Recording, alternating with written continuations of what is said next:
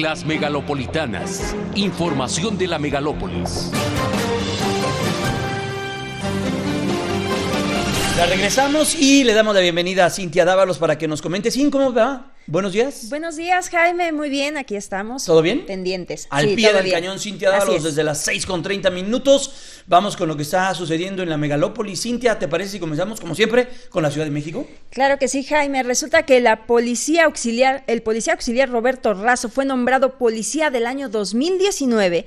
El uniformado salvó a una mujer quien era secuestrada en un taxi en calles de la alcaldía Gustavo Amadero en marzo pasado.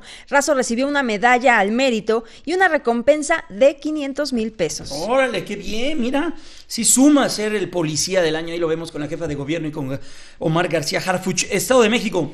La investigación llevada a cabo por personal de la Procuraduría General de Justicia permitió la detención y vinculación a proceso de tres probables responsables de la comisión del delito de secuestro y la posterior localización en un inmueble del municipio de Catepec, Estado de México, de los posibles restos óseos de la víctima. Morelos.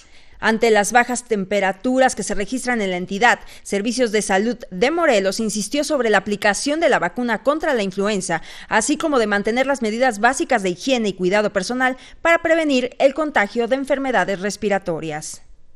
¿Qué pasa en Puebla? La incidencia delictiva en el estado de Puebla no ha disminuido, ya que en el periodo de enero a noviembre del 2018 hubo un registro de 56.194 delitos, pero para el mismo lapso de este año la cifra aumentó a 71.268, es decir, que la criminalidad ha incrementado más del 20%. ¿Qué pasa en Querétaro? Un total de 3 toneladas 613 kilogramos de diversos bienes relacionados con investigaciones por la Comisión de Delitos en materia de derechos de autor y propiedad intelectual fueron destruidos. ¿Y qué está sucediendo en Tlaxcala? Dos jóvenes que habían sido reportados como desaparecidos fueron hallados sin vida en el municipio de Calpulalpan luego de haber impactado el automóvil en el que viajaban. Y por último, ¿qué sucede en el estado de Hidalgo? Una centena de campesinos retuvieron por más de seis horas a trabajadores del Congreso de Hidalgo para exigir un aumento de recursos para el sector donde laboran. Según reportes, los campesinos liberaron los accesos tras un acuerdo con las autoridades. Y muy bien, Cintia Dávalos, gracias por la información que nos brindaste.